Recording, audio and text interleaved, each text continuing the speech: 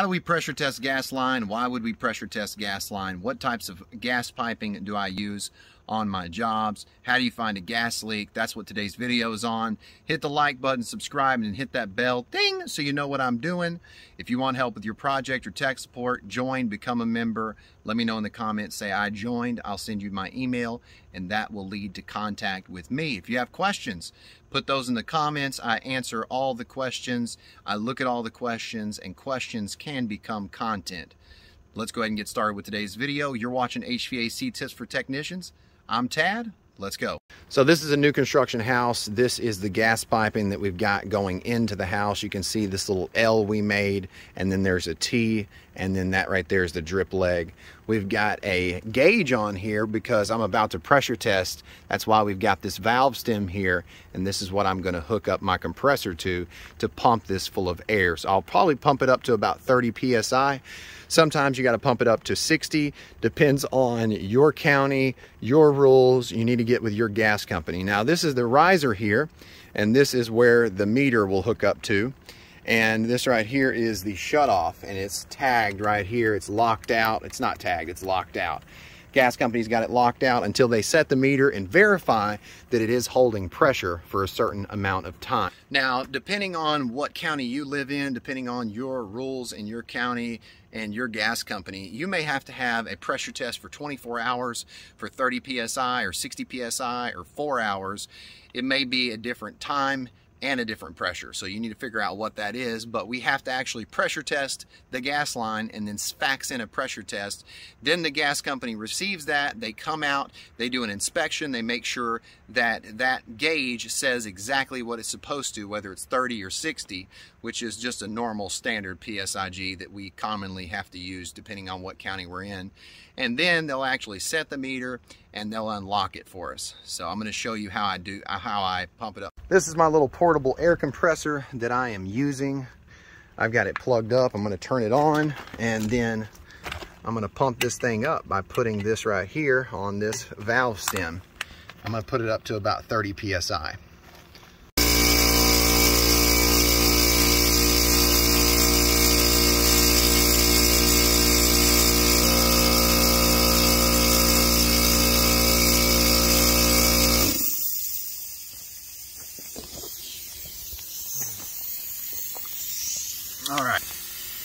Right there on 30 PSI. Okay, good deal. Let the rest of the pressure off. All right. Now that we've got air on the gas line inside, I'm gonna go inside and use this spray bottle here with soap and water to spray each one of my connections to see if there's bubbles, which could indicate that there's a leak. Now, what tool do I use if I have an existing gas line and I'm not doing a pressure test like this? I'm just trying to find the gas leak. Say there's an existing gas line with a meter already and gas in that line and a customer says, I smell something. Let's see if we can find the leak. How do we do that? Let me show you the tool. This right here is a combustible gas detector. And if you've got a gas line with gas in it, then you can use this tool here to find the leak. It's got a little sniffer, it's got a little on button here, and it'll beep if you are near the gas leak because it'll smell that gas, right? But you can always use the tried and true method, which is just soap and water in a spray bottle. Let's go spray some connections. We'll start outside. I'll spray every single connection. I'm gonna definitely spray this connection here. Definitely spray that gauge.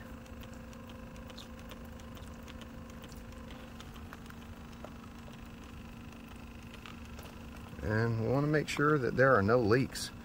Of course, if our gauge does not stay at 30, then we know there's a leak. So, all right, let's go check the connections inside. All right, testing our fittings inside of the fireplace here. And we use TracPipe, which is this corrugated steel pipe here covered with this PVC covering here. This is TracPipe. Track pipe comes in half inch, three quarter, one inch size, and that's most common sizes we use. And we also use black iron, which I'll show you what black iron looks like. Want to get a rag, that way you don't get that soap everywhere. So this right here is for the stove. And I don't see any leaks on this one. All right, there's our gas line coming to our gas furnace, half inch black iron. Oh, half inch 90, 90, half inch to one inch bell reducer. And then we've got a manifold and we've got half inch TracPipe right here going to our stove and then half inch black iron here. There's where our gas line comes in at. So I've got to spray all these fittings down. Make sure we don't have any leaks. All right, here we go. Let's get started. Yeah, these fittings are notorious for leaking right here because you usually have to tighten it up and then loosen it and then tighten it back up. It's kind of like a flare fitting. You got to make sure that you tighten it twice.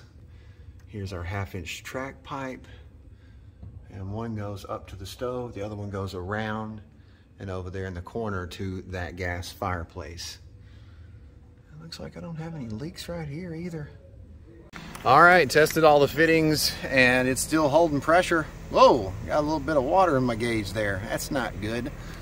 I'm gonna go ahead and fax in the pressure test. That way they can set the meter on this one. This is gonna be a good one right here. There's the return, there's the supply. Anytime you have gas line in a wall covered up, it has to be continuous. It can't have any joints. Otherwise, you have to have access to the joint. That's why this gas line is welded. This is for this new construction house that we're putting gas line in for a stove, fireplace, hot water heater. We're gonna use three quarter inch TracPipe for the hot water heater and this half inch TracPipe is for the stove, the fireplace, and this is a 100 foot roll. 100 foot roll of half inch TracPipe. This right here is a 50 foot roll of three quarter inch TracPipe. So TracPipe, counter strike, flexible gas piping. Love this stuff. Makes the job so much easier, so much quicker. Here's where our gas line will go into the building and they'll set the stub up here with the riser and then they'll have a meter. There's where our outdoor condenser is gonna be.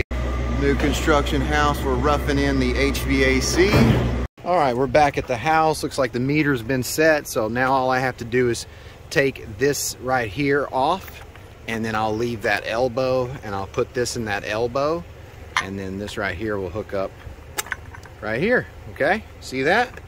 Easy peasy. And then all I got to do is turn this right here, get you a adjustable crescent wrench and turn this so it's straight up and down and then you'll have gas going into the home. Awesome. There's our TracPipe for the gas fireplace.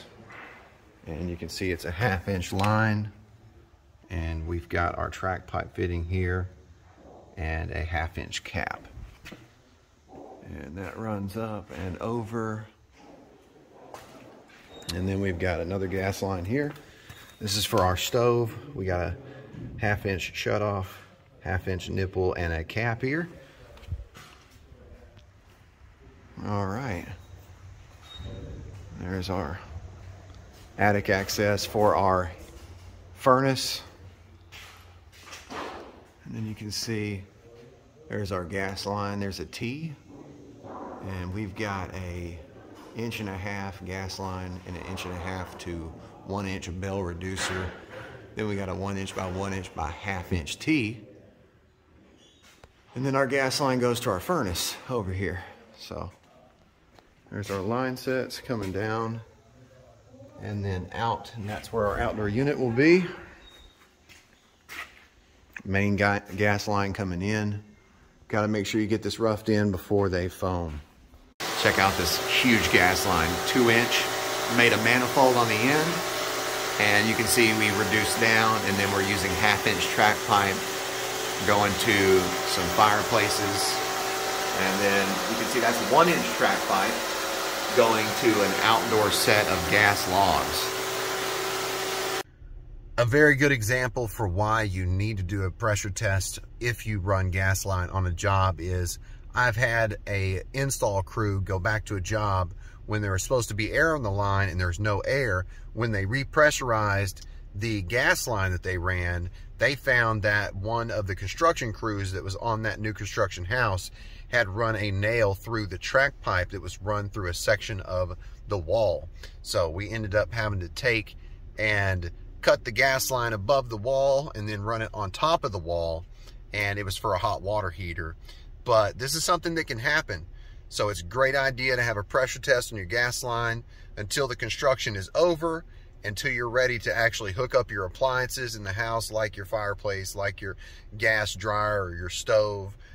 You need to have a pressure test. So I hope you enjoyed today's video. I hope you learned something. Hope you hope you liked the video. Hit the like button if you did. Let me know in the comments what you learned. If you got a question, questions become content. Thank you so much for watching. You've been watching HVAC Tips for Technicians. I'm Tad, and I'll keep you cool if you let me.